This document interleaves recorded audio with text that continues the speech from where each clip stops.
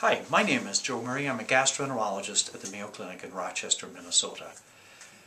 Um, today we're going to talk about the recently um, published symptom checklist by the Celiac Disease Foundation. The Celiac Disease Foundation, one of the leading organizations for advocacy for education and uh, support for patients with celiac disease, has just uh, posted on their website the celiac disease symptom checklist.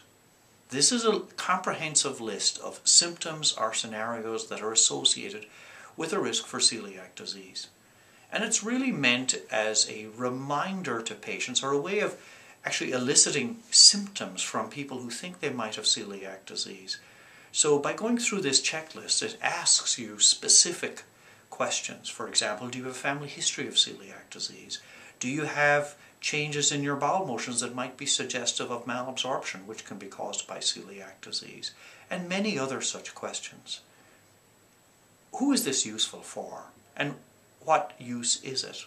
Well, I would think it's useful for anybody who thinks that celiac disease might be a possibility, either because they have a family history, maybe they don't feel great and they have heard about celiac disease. This is a way of taking you through um, all of the common and not so common associations of celiac disease. It does start out very uh, at the very important, very importantly, the very beginning. It tells you that this is a symptom checklist. This is not an aid to self-diagnosis, and indeed, many of the symptoms that are listed are common in conditions that are not celiac disease or even not associated with celiac disease. But it's a very good way of going through a list, of being led through a series of questions that once you have answered them, then you can receive your answers back in detail. And that can help you then when you talk to your physician about being tested for celiac and say, well, look, these are the symptoms that I've experienced. And could these be associated with celiac disease? I think of this as a very helpful tool um, to collect all of those symptoms in one place.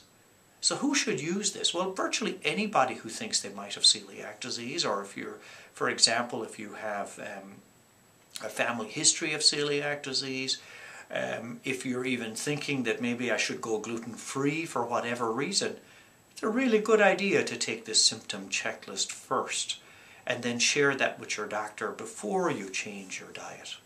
So yes, I think this is very useful. Um, it also links to the Celiac Disease Foundation's um, website as well as to their directory of um, healthcare practitioners who've indicated interest in managing patients with celiac disease around the country.